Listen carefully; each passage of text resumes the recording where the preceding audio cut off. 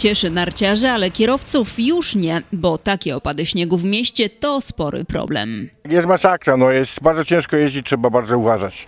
W każdym razie jest dużo takich miejsc, gdzie jest taka właśnie powłoka śniegowa, a pod spodem jest lód. Fatalnie, fatalnie. W ciągu całego dnia widziałem jeden pług zaledwie na, ca- na, na całym Zabrzu. Choć w prognozach pogody opady były, to kilkudziesięciu centymetrów białego puchu chyba nikt się nie spodziewał.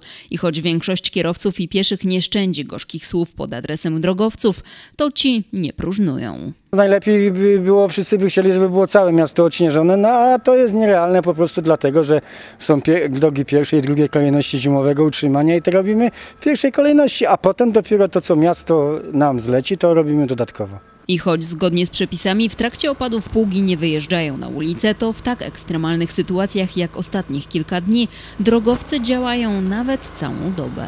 To, o czym Pani powiedziała, jest po- spowodowane tylko zapisami umownymi, ale generalnie w czasie opadów śniegu cały czas działamy. Wykonawca ma obowiązek doprowadzić drogi do stanu przejezdności bądź yy, do 4 godzin po ustaniu opadów śniegu. Akcja Zima to spore wyzwanie logistyczne, bo do dyspozycji służby mają 8 pługopieskarek. Tu w bazie dyspozytor na bieżąco podgląda ich położenie. I tutaj mamy podgląd, czy, czy, czy sprzęt płuży i, czy- i czy posypuje w danym momencie, także to wszystko widać tutaj. Czyli nie można się obijać. Nie ma czegoś takiego, że kierowca mógłby sobie gdzieś pojechać i ja bym o tym nie wiedział tutaj. Warto wiedzieć, że drogi podzielone są na kategorie. W pierwszej kolejności odśnieżane są główne ciągi komunikacyjne, a później kolejne, w zależności od natężenia ruchu.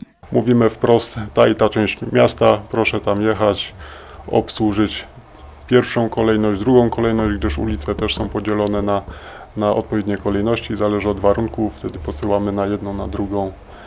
Płużymy, posypujemy, Z biegiem godzin sytuacja drogowa powoli się poprawia, ale synoptycy nie mają dobrych wiadomości, bo choć wygląda na to, że to już ostatnie podrygi zimy, to jej końcówka będzie wyjątkowo nieprzychylna kierowcom.